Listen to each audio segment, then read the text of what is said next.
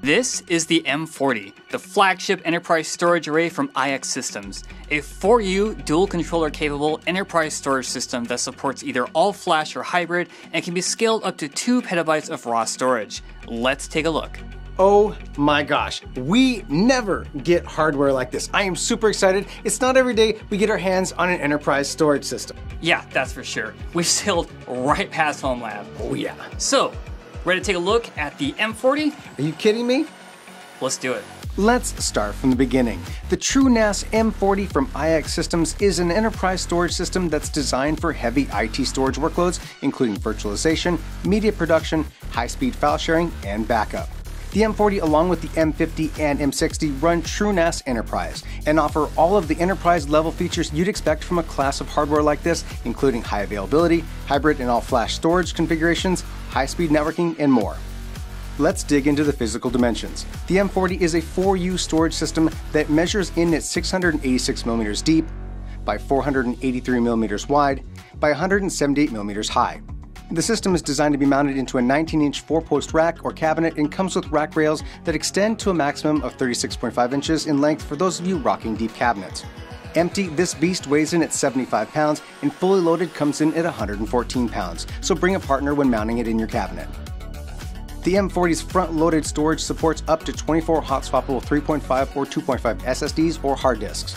The system supports up to two additional storage shelves, bringing its maximum raw storage to 2 petabytes, which is an incredibly mind blowing amount of capacity. On each side of the M40, you'll find independent power, health, disk, and network indicator LEDs, as well as a power button to power up or down the individual controllers in the unit. Power delivery for the M40 is provided by dual redundant 1200 watt power supplies. iXsystem states that the M40 with a single controller has a maximum power draw of 825 watts, and with the additional high availability controller peaks at 950 watts.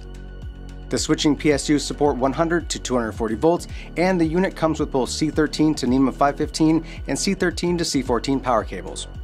Above the removable PSUs, behind a removable fan tray, we find four 2.5 inch U.2 NVMe disk bays where the M40's read cache storage is located. The M40 supports up to 3.2 terabytes of NVMe read cache.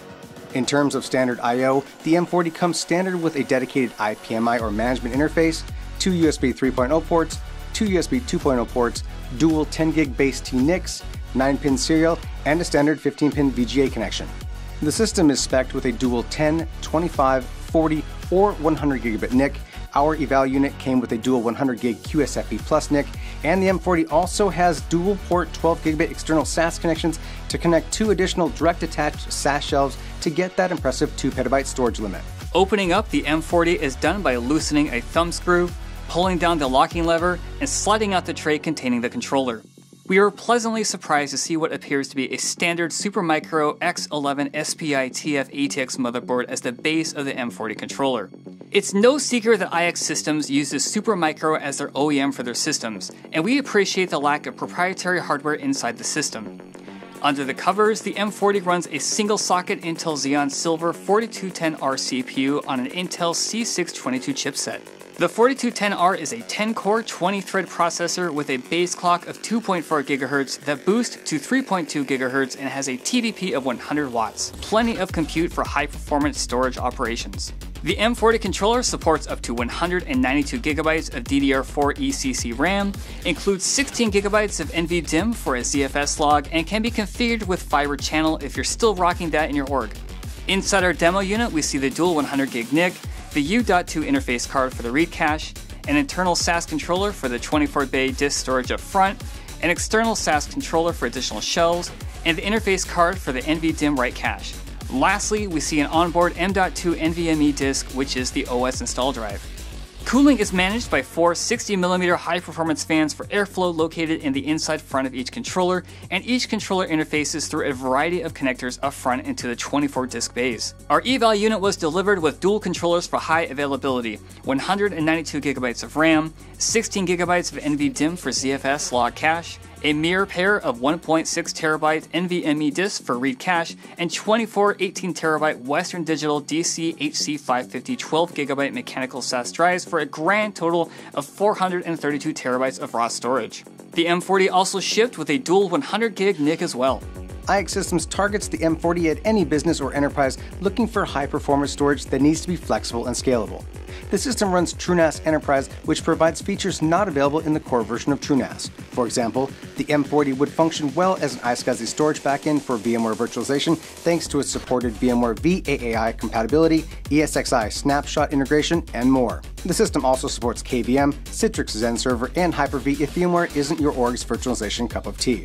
The M40 would also be a perfect candidate for a file level NAS role with its support for SMB versions 1, 2, and 3, ADS integration for access control for Windows networks, NFS version 3 and 4 for Linux Unix file sharing, as well as a backup storage target for applications like Veeam, Asigra, Acronis, and more. And with dual controllers, the system offers high availability to help keep your sysadmins sleeping well at night.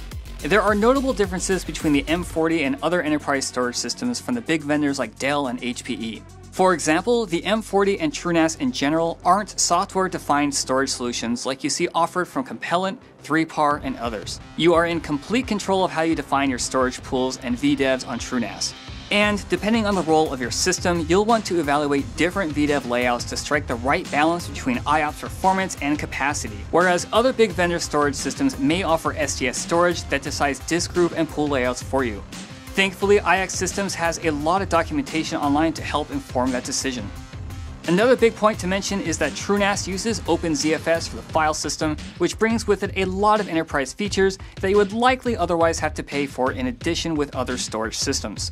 For example, OpenZFS features self-healing data protection, adaptive compression, and unlimited snapshots and storage replications built into TrueNAS.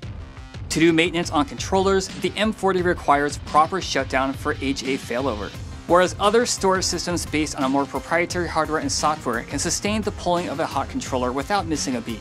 Of course, it's not smart to pull an active controller from any storage system without migrating roles for data integrity, but we do think it says something about the M40 that it required having a big sticker warning you to shut down a controller first. Overall, the M40, like the M50 and M60, are fantastic high performance storage systems that, coupled with the power of TrueNAS, allow you to extend the functionality of the storage system in ways very few other storage vendors can match. TrueNAS Enterprise and Scale, when it is released, allow you to run VMs, jails, and more directly from the system itself, giving the flexibility to maximize your storage and compute in ways no other enterprise storage vendor can. Thank you for watching our first look at the M40 from iXsystems. We'd love to know what you think, so get down in those comments and tell us. Would you like to see something tested? Do you want to know more? Let us know. If this is the first time you've seen us, subscribe! If you like what we do here and want to be all social, consider following us on Twitter and Instagram. And lastly, get on our Discord. It's a great place to talk about home labs, storage, PCs, and more, and we'd be happy to have you. Thanks for watching.